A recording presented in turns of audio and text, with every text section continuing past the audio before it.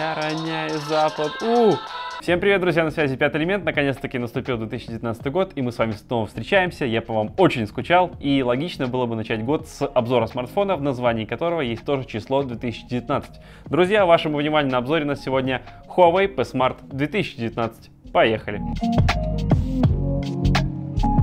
Ну, пока что телефончик мы отложим в сторону и возьмем коробку и проверим, что же там внутри есть. Достаем, кстати, на коробке написано Y и X, читается как ух, наверное, ух, какой смартфон на сегодня здесь ждет. А, вот такой конверт, пустой. Дальше у нас идет скрепка для проверки сим-слота и подключения карточки microSD формата. Далее microUSB шнур для зарядки и для передачи данных через компьютер, например. А, вот такой блочок зарядный, 2 амперовый. Да, совершенно верно.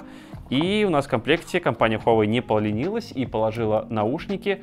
Э, мне кажется, наушники это достаточно приятно, потому что вы сразу с коробки можете общаться по гарнитуре и себя ни в чем не ущемлять, поэтому это лайк.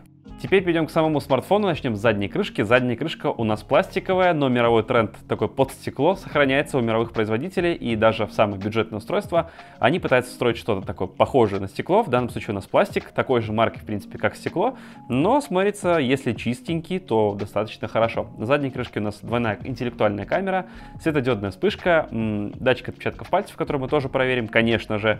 На нижней части у нас э, динамик разъем, э, микро-USB для зарядки питания и 3.5 джек для подключения наушников или гарнитуры.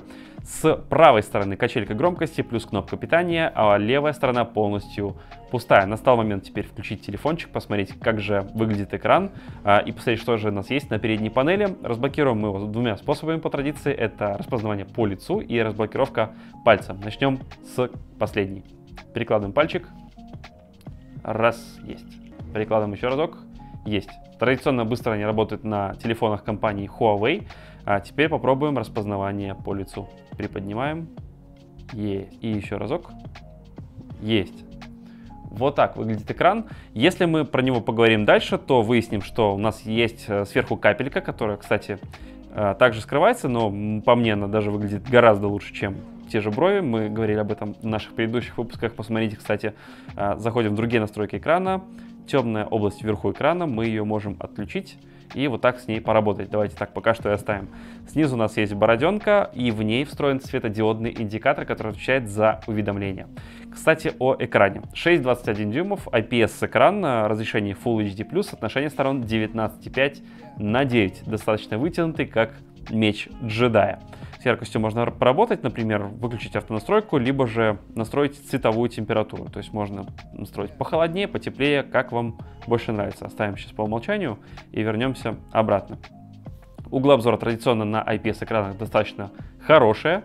Яркость, наверное, могла бы быть и побольше, но в целом, я думаю, достаточно, хотя в солнечный день придется в теньке прятаться. Вот так выглядит демо-картинка, углы обзора, яркость. Смотрите, как вам.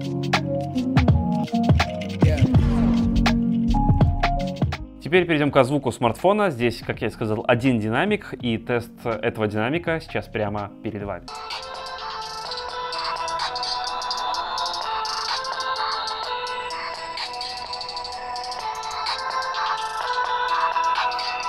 Нормальный громкий звук, немножко суховатый из-за того, что здесь динамик все-таки один, но почему бы и нет. Двигаемся дальше. Следующим у нас идет софт, и из приятных мелочей здесь то, что на достаточно бюджетном устройстве стоит сразу девятый Android. Прикольно. Не все флагманы дождались этого девятого андроида. Девятый Android и фирменная оболочка EMUI, тоже девятой версии от Huawei. И если мы дальше переходим к железу, то оно здесь следующее. Сразу результаты Antutu озвучим. Примерно, да, 128 тысяч баллов у нас эта штучка набрала. Восьмиядерный процессор Kirin 710, достаточно энергоэффективный, как считает компания Huawei. 3 гигабайта оперативной памяти. В данном у нас аппарате 32 гигабайта встроенной памяти, 512 гигабайт вы можете добавить с помощью флешек. И если мы говорим про батарейку, то здесь она на 3400 мАч, чего примерно должно, наверное, хватать на дня два.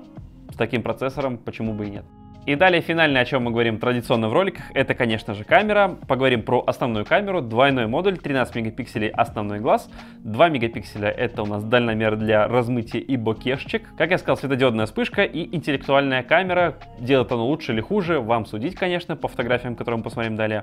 А спереди у нас камера на 16 мегапикселей. Теперь немного поговорим про приложение камера. Заходим. Основная камера у нас, как я и сказал, на 13 плюс 2 мегапикселя, светосила 2,2. Приложение фото фотокамера у нас стандартный режим фотографии с фокусом, э, с отключением или включением интеллектуального режима, режим портрет для ваших бакешечек. Далее у нас идет ночной режим, в котором можно э, с большой выдержкой сфотографировать что-то ночью, получить больше света. Работает, кстати, в принципе нормально, по фотографиям вы в этом убедитесь. И режим диафрагмы, когда в ручном режиме можно настраивать замытие заднего фона. И режим еще, в котором есть профи режим, то есть настройка полностью ручная панорама, дополненная реальность, HDR, э, свет, отрезок времени типа таймлапс, наверное, что-то, фильтр, либо же водяной знак. Переходя к верхней панели, что здесь изображено, у нас есть э, приложение High Vision, аналог Bixby на Samsung э, от Huawei, режим э, включения или автоматическая постановка вспышки, режим Live Photo, который позволяет такую небольшую гифку, можно сказать, делать из фотографии.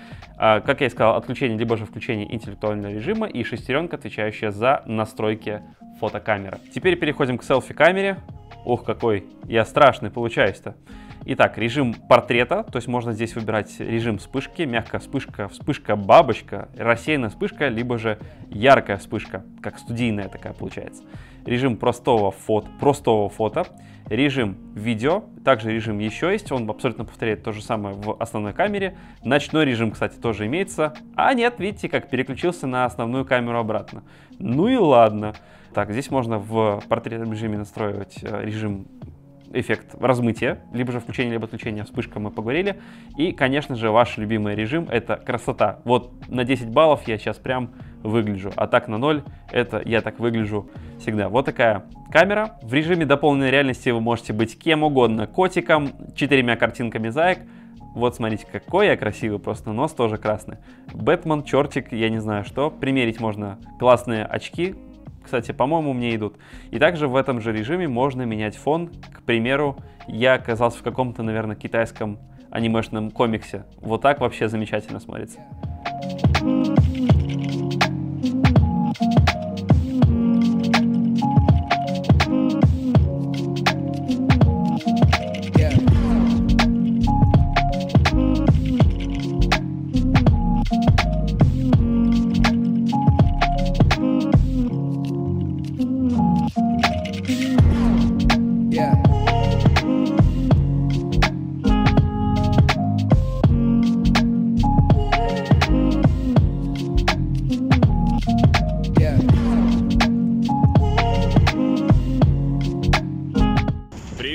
Требзя, тест звука картинки на фронтальную камеру Huawei P Smart 2019. Как вам? Пишите в комментариях, как вам звук. Фокус на мне, фокус не на мне. Звук, эгей, как вам? Итог по камере. Неплохая, в принципе, камера. Иногда бывает, конечно же, ошибается, как, например, в сцене с лифтом, вы это видели, фотографию. Но в целом добротная, неплохая, особенно селфи-камера. Что по итогу сказать о данном смартфоне? Неплохой представитель бюджетного сегмента, в котором он будет соревноваться с другими большими производителями. И, как говорится, соревнуются большие производители, а выиграют всегда покупатели. Так что, если вам понравилось данное видео, поставьте ему лайк и подпишитесь на наш канал. Самое главное, помните, что пятый элемент всегда на вашей стороне. Пока!